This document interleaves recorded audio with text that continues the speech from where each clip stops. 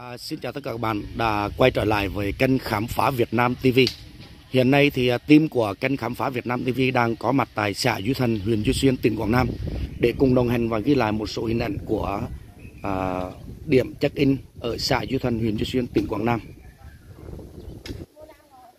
Và đây là điểm check-in của giới trẻ hiện nay mà chúng tôi được biết à, qua à, các thông tin đại chúng trên mạng xã hội thì chiều hôm nay team của kênh khám phá Việt Nam TV đang có mặt tại địa điểm mà à, giới trẻ đang à, check in, quay phim chụp hình để ghi lại những kỷ niệm. Và đây là những cái à, hình ảnh mang tính rất là đậm nét của làng quê bởi một cái căn nhà rất là đẹp và xung quanh là những đồng lúa vàng thơm ngát. Và có rất là nhiều loài hoa, trong đó có đặc sắc đó là loài hoa sen thì hiện nay là đến mùa hoa sen nở rất là đẹp. Thì à, các bạn có thể à, đến ở địa điểm này để cùng check in và quay phim, chụp hình, ghi lại những tấm hình kỷ niệm. Bởi vì đây là một khung cảnh làng quê rất là yên bình. Bên một ngôi nhà sẽ có những cái à, khung cảnh rất là tuyệt đẹp. Đó là một cái hồ sen. Và trong khu vực hồ sen này thì gia chủ đã chuẩn bị cho chúng ta những địa điểm để có thể chúng ta đứng vào đó để quay phim và chụp hình để ghi lại những tấm hình kỷ niệm đẹp nhất. À, qua quan sát thì à, uh, kênh khám phá Việt Nam TV nhận thấy là đây là một cảnh đồng quê rất là yên bình và những cây cối, những loài hoa được trồng ở trong uh, ngôi nhà này thì nó mang một cái à, uh, đầm chất rất là yên bình, rất là quê hương. Và khi các bạn đến đây uh, check in, quay phim chụp hình thì chúng ta sẽ uh, cảm nhận được những cái hình ảnh rất là rất là quê, rất là yên bình. Từ thành phố Đà Nẵng đến à, địa điểm check-in này đó là xã Duy Thành, huyện Duy Xuyên, tỉnh Quảng Nam. Thì chúng ta có thể đi à, mô tô hoặc là ô tô từ thành phố Đà Nẵng đến đây thì khoảng trong vòng à, một tiếng đồng hồ. Từ thành phố Đà Nẵng đi vào quốc lộ 1A chúng ta chạy thẳng đến à, gần đến cầu Bà Rén thì chúng ta sẽ có một cái đường bê tông ở phía bên trái, bên tay trái. Và chúng ta sẽ rẽ sang phía bên tay trái, chạy khoảng à, 500 mét nữa thì chúng ta sẽ bắt gặp một cái à, cái cái ủy ban nhân dân xã Duy Thần, huyện Duy Xuyên, nó nằm ở phía bên tay phải. Sau đó chúng ta tiếp tục di chuyển tới khoảng 300 mét nữa, sẽ có một cái trường học ở phía bên tay trái sát ở bên trường học đó thì chúng ta sẽ có một cái hẻm bê tông nhỏ. Đi vào thì đó là địa điểm check in hồ sen của cái à, xã Du Thần huyện Duy Xuyên nằm trên một vùng quê rất là yên bình rất là đẹp khung cảnh rất là tuyệt vời và chúng ta sẽ tha hồ quay phim chụp hình trên những cái hồ sen hoặc là những cái uh, loài hoa mà uh, gia chủ đã trồng nên rất là đẹp đấy các bạn. Cho nên uh, chiều hôm nay kênh khám phá Việt Nam TV đã có mặt ở đây để ghi lại một số cái hình ảnh và hướng dẫn cái địa điểm để cho chúng ta có thể biết và các bạn có thể um, rủ các bạn uh, cùng đến địa điểm này để check in và chụp hình.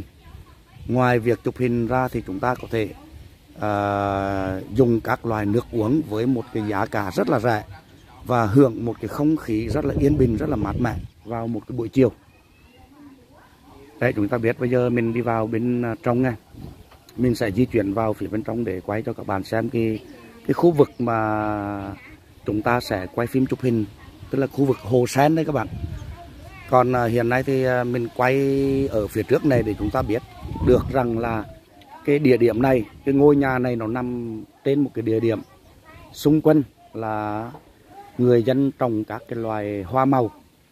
Ví dụ như trái ờ, bầu này trái mướp này, các loài rau này, rồi là ngô này. Đấy, như chúng ta nhìn ở phía trước màn hình thì có một vườn ngô ở ngoài kia rất là lớn. Và trong khu vườn thì ờ, được gia chủ trồng rất là nhiều loài cây. Thì tí nữa chúng ta sẽ khám phá xem có những cái loài cây gì. Đấy, thì ờ, chúng ta nhìn ở trước màn hình, đây là một ngôi nhà đây các bạn này đây là ngôi nhà của gia chủ và ở trong nhà này thì có bán các loài nước ờ, cà phê nước uống giải khát vân vân. Và ở phía sau chúng ta thấy ở phía sau của ngôi nhà này là một cái hồ sen. Kế bên hồ sen đó là một đồng ruộng đồng ruộng. Và hiện nay thì à, hình ảnh rất là đẹp bởi vì đồng ruộng này đã vào vụ mùa lúa chín. À, lúa hiện nay đã chín vàng rất là đẹp kèm theo cái uh, khung cảnh của hồ sen nữa thì à, một cái hình ảnh rất là tuyệt vời các bạn. Cho nên chúng ta có thể đi trong thời điểm này thì rất là hợp lý. À, bây giờ chúng ta sẽ di chuyển lui phía sau cho các bạn xem à, cái hồ sen ở phía sau nha các bạn.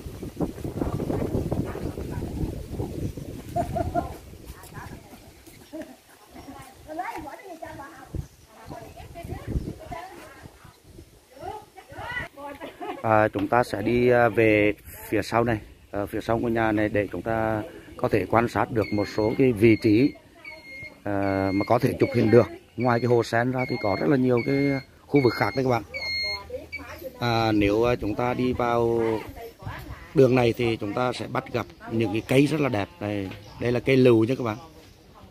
Đây là cây lù và nó đang vừa mới ra trái đấy các bạn này. Đấy, đấy nhìn thấy một lù thôi. Ở sau kia là cây gì đây? Cây cà chua đấy cây cà chua đây các bạn này. Đấy. rất là đẹp. Và ở đây có một cái à, cái ghế bằng tre để chúng ta ngồi à, chụp hình. Đấy. Một cái hình ảnh rất là đẹp. Ở phía xa đằng kia là một cái đồng lúa đấy các bạn. Nên mình sẽ di chuyển lui phía sau nha cho các bạn xem nha.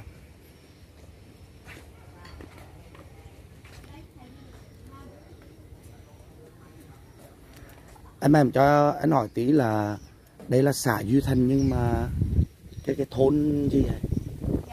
cái địa điểm á? Thôn Thi Thải xã Duy Thành ạ. số thôn gì? Thi Thải. À thôn Thi Thải à, xã Yên Thành.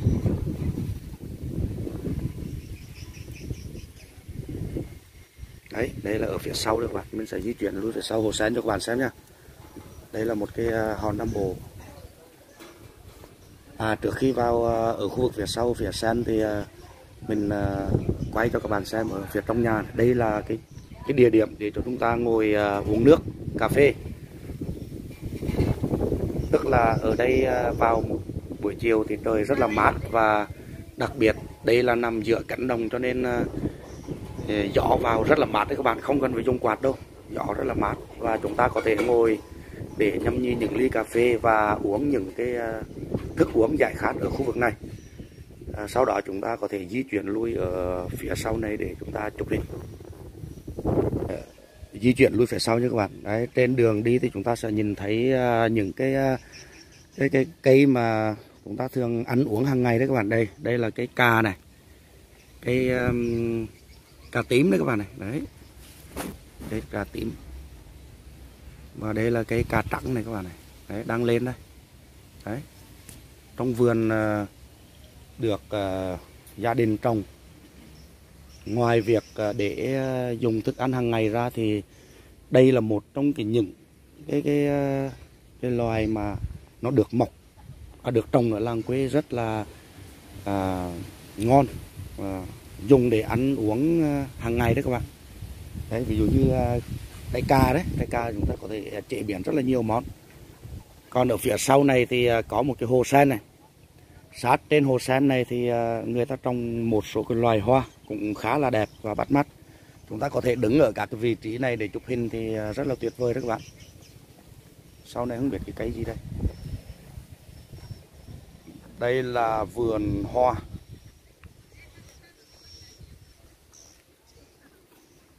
Dạ dạ. Mình à, mình à, đâu á anh luôn ạ dạ ví, ví dụ như cái, nhiều cái này thì à, trên cái cái kênh của mình mình đã giới thiệu cho rất là rộng rãi rất là Dạ. nhiều và họ biết ở đây khá nhiều dạ dạ à, tuy nhiên có những người nhắn tin hỏi á Dạ. comment hỏi thì mình không nhớ rõ cái tên của cái cái cái à, xã Duy Thành là đúng rồi nhưng mà Dạ. cái thôn gì nhỉ dạ thôn thi thải ạ thôn Thi Thái dạ thôn thi thải xã Di Thành Duy Xuyên Quảng Nam ạ Vâng. dạ thì ờ, nó là sang house garden anh ha thì bây giờ ờ, có một cánh đồng lúa vàng hàng cao á, nó nó giống như là biểu tượng ở đây á. Thì thì cái này ờ, đây em làm một cái cầu nó uốn cong một tẹo á để cho mọi người check in á cho nó, nó nó đẹp á. Đúng rồi. Dạ.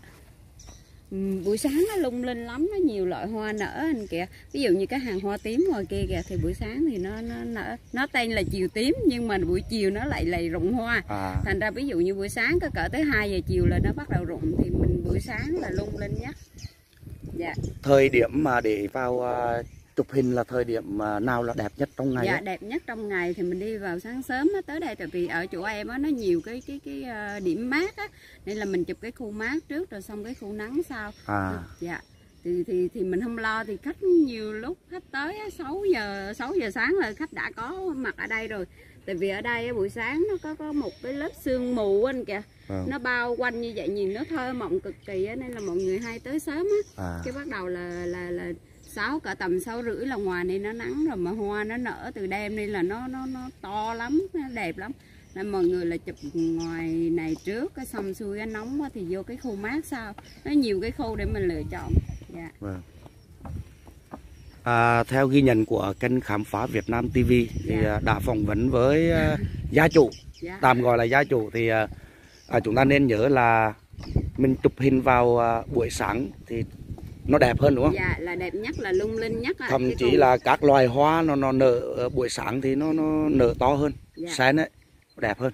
dạ, À, tuy nhiên tùy theo điều kiện của các bạn vì ở à, các cái tỉnh lân cận ở đây ví dụ như thành phố Đà Nẵng hoặc tỉnh Quảng Nam một số xã ở xa dạ dạ thì à, nếu chúng ta không sắp xếp được công việc thì chúng ta có thể đi vào buổi chiều dạ còn tốt nhất là đi vào buổi sáng đúng không ạ. Vâng. còn ờ, tại vì buổi chiều của sang của mình nó nhiều anh kìa thành nó nó khép lại thành búp nhưng mà nhìn anh thấy không một một màu hồng luôn á chứ Rồi. không phải là nó nó Vâng. nó ít á Vâng dạ à, như vậy thì mình đã hỏi thăm à, gia chủ có thông Dạ. báo về cái thời gian như vậy thì à, qua đây kênh à, khám phá Việt Nam TV dạ à, thông báo đến cái địa điểm check in rất là hot hiện nay của giới trẻ cũng như mọi người dân thì à, chúng ta có thể sắp xếp được à, một thời gian hợp lý nào đó trong ngày có thể buổi sáng hoặc buổi chiều.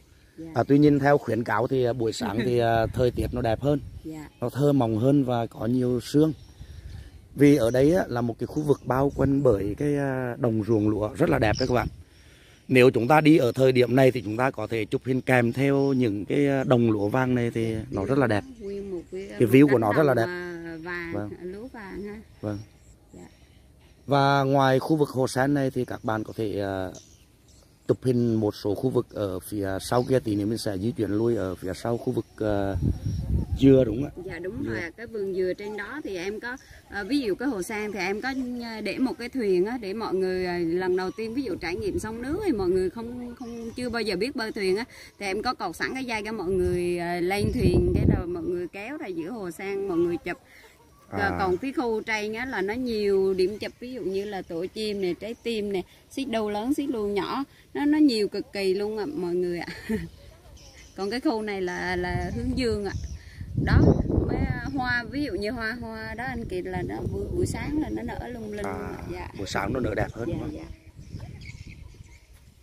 Thì nói chung buổi chiều thì nó cũng có nhiều cái ở, ở đây à, ráng chiều nó đẹp lắm anh bây giờ nó có cái làng mây á chứ còn ráng chiều cái khu này cực kỳ đẹp luôn ạ nó có hàng Vâng. cao anh kìa Vâng. nên là chụp cánh đồng với hàng cao ráng chiều cực kỳ đẹp luôn nói chung là khung cảnh ở đây rất là yên bình Dạ. rất là đậm chất làng quê cho nên là mọi người rất là thích chụp hình ở đây dạ à, dạ vì vậy mình à, cũng biết được cái, cái địa điểm này dạ sau đó mình sẽ tìm đến à, để à, có thể ghi hình trực tiếp Dạ, để dạ. à, đồng hành và có cái hình ảnh cụ thể đấy để Dạ, cho mọi dạ. người xem dạ rồi em cảm ơn vâng anh cảm ơn chị dạ, rất là nhiều dạ, và rồi, mình dạ. sẽ di chuyển ra phía hồ sen kia dạ dạ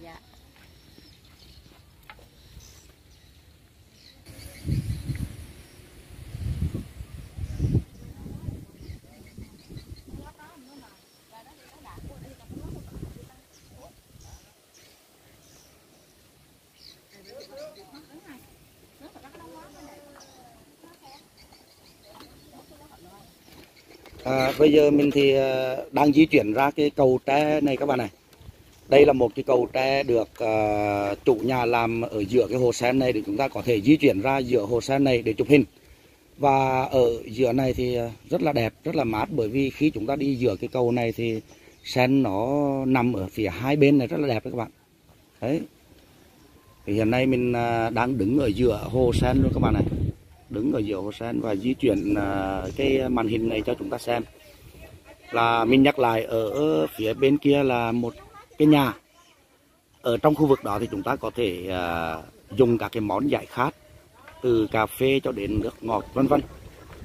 Sau khi chúng ta nghỉ ngơi thoải mái xong thì chúng ta có thể di chuyển ra ở giữa khu vực hồ sen này để quay phim hoặc là chụp hình à, lưu ý là khi uh, đi thì chúng ta chuẩn bị những cái bộ trang phục uh, cho nó đẹp để chúng ta lên hình cho đẹp các bạn nhé đấy. Và các bạn chú ý là sen thì nó không nở mãi đâu nó sẽ nở trong vòng khoảng một tháng thôi. Khoảng một tháng thì hiện nay sen đang chớm nở đang uh, ban đầu nở đấy các bạn này. Nhưng mà khoảng một tháng nữa thì hồ sen này nó sẽ sẽ hết hoa cho nên chúng ta đi càng sớm càng tốt các bạn. Đây mình di chuyển mình quay lại cho các bạn xem những cái, cái, cái hoa sen này rất đẹp các bạn này đấy. Và bên cạnh hồ sen này thì có một hàng cau. Đấy một hàng cau rất là đẹp. À, sát ở chỗ hàng cau đó thì à, người ta làm những cái cái biểu tượng để chúng ta có thể à, chụp hình ở đó.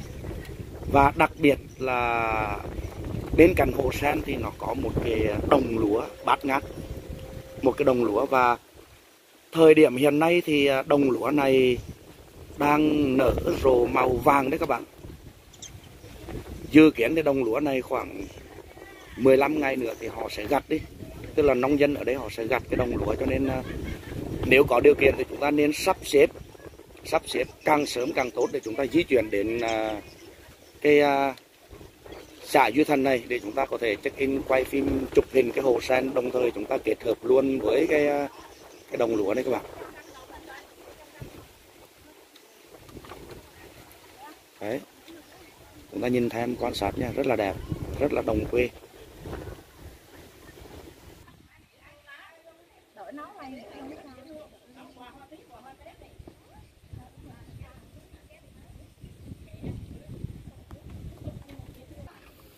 Đây là chiếc cầu tre à, cầu vãn chứ không phải là cầu tre đâu. Đấy, rất là đẹp. Hai bên có những cái chậu hoa rất là đẹp. Và hai bên là những cái cây sen này những cái hoa sen. Tuyệt vời nhé các bạn.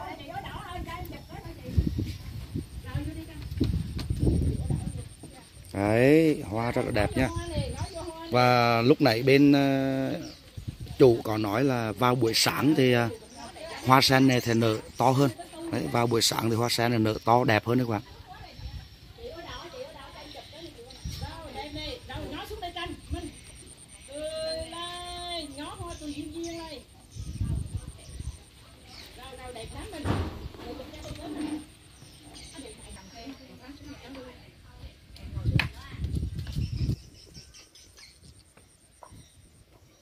Ở đằng kia là có cái cây mít đấy các bạn này.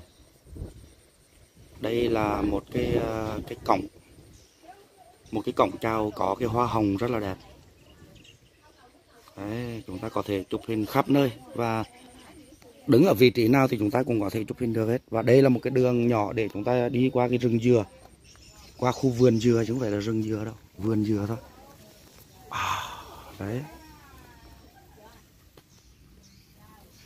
Mình sẽ đi qua bên kia là sẽ gặp một cái vườn dừa đây các bạn đây.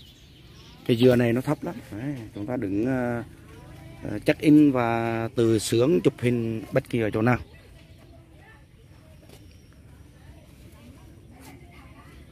Đấy đây là một cái giường để chúng ta ngồi lên đây chụp hình nha. Đây là có một cái uh, hình tròn. Và tiếp theo thì chúng ta sẽ có những cái uh, lốp xe như thế này thì chúng ta có thể ngồi lên đây nha. Đấy ngồi lên đây chụp hình ra thì tuyệt vời nha.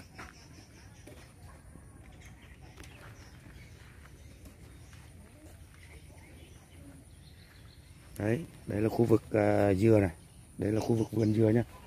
Để mình uh, ghi hình vào bên trong cho chúng ta thấy cái vườn dừa như thế nào. Đấy. Đây là khu vực vườn dừa và chúng ta có thể uh, vào check in ở trong cái khu vườn này. Cũng khá là đẹp. Rất là mát mẻ nha các bạn.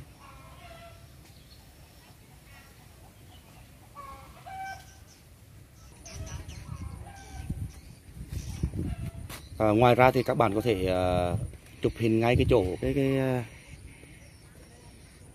chiếc ghe này này. À, rất là đẹp. Ngồi ở đây chụp hình lấy cái cảnh hoa sen ở bên kia. Đấy. Và phía bên kia thì nó có một cái hồ cá hồ nuôi cá rất là đẹp. Đấy các bạn. À, vâng một lần nữa à, kênh khám phá Việt Nam TV rất là cảm ơn sự à, quan tâm chú ý lắng nghe và theo dõi của tất cả các bạn. Và nếu các bạn à, thấy à, những cái nội dung này hay bổ ích và có thể giúp cho chúng ta à, biết thêm những địa điểm à, check in mới thì à, xin mời tất cả các bạn hãy like share và đăng ký giúp cho kênh khám phá Việt Nam TV để chúng tôi có thể tiếp tục phát triển Ờ, cái kênh ờ, YouTube của mình trong ờ, thời gian sắp tới. Và rất mong gặp lại tất cả các bạn trong những cái video khác. Và chúng tôi sẽ tiếp tục đồng hành. Bởi vì kênh khám phá Việt Nam TV của chúng tôi chuyên thực hiện về các nội dung về văn hóa, về du lịch, về thể thao, về đồng quê và tất cả các cái món ăn của làng quê Việt Nam mình. Cho nên rất mong các bạn khi theo dõi thì chúng ta hãy like, share và đăng ký giúp cho kênh khám phá Việt Nam TV. Xin chào và hẹn gặp lại. À, chúng ta có thể thấy đây là một cái con đường à, cỏ à, nằm sát một bên cái đồng ruộng đấy các bạn này đấy chúng ta nhìn à, lúa này để mình quay cho các bạn xem cận cận à, cái đồng lúa một cái đồng lúa rất là rộng lớn và một cái màu vàng nở rộ rất là đẹp và chúng ta sẽ di chuyển trên cái đoạn đường này thì ờ, một bên là hàng cau, một bên là đồng lúa và một bên là hồ sen. Đấy, tuyệt vời. Đấy, nếu mà ở ngoài khu vực này chúng ta nhìn vào, ở trong kia thì chúng ta nhìn thấy đấy chưa? Cây cau này, ngôi nhà và hồ sen rất là đẹp. Và hiện nay thì ở trong kia các bạn đang ờ, quay phim chụp hình ở trong kia đó các bạn. Đây là hàng cau nha. Hàng cau ở quê hương rất là đẹp đấy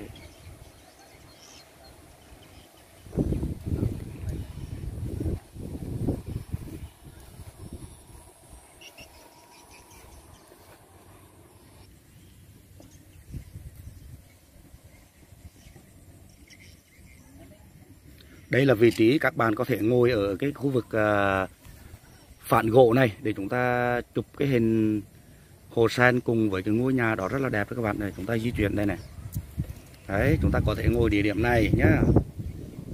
Chúng ta ngồi vào cái địa điểm này và chụp hình, hướng lên cái nhà ở trong kia. Rất là đẹp.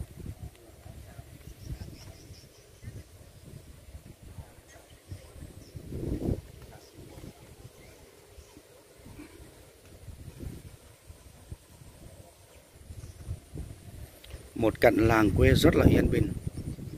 Thực ra thì ờ, đi buổi sáng thì hoa sen nở rất là đẹp, nở to và nó tươi hơn. Nhưng mà nếu chúng ta đi vào buổi chiều thì cái cảnh buổi chiều nó đẹp lắm các bạn.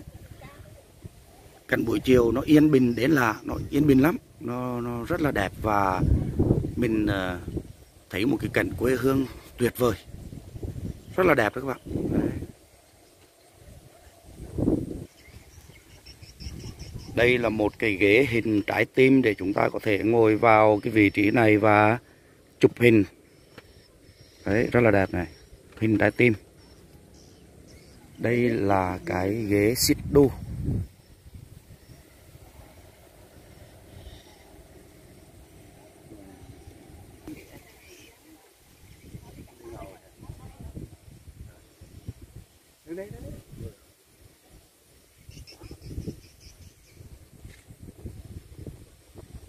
Xin sĩ tới ngày một sĩ rồi.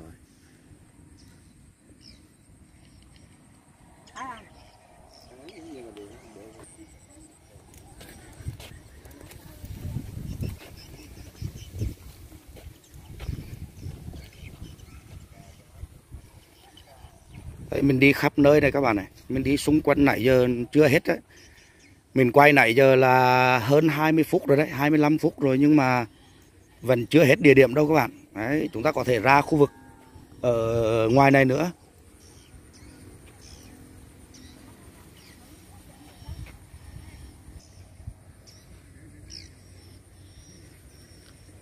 Nếu mà bạn nào thích thì có thể ra nằm ở cái khu vực lúa này để chụp đó các bạn này. Đấy. Lúa đẹp không?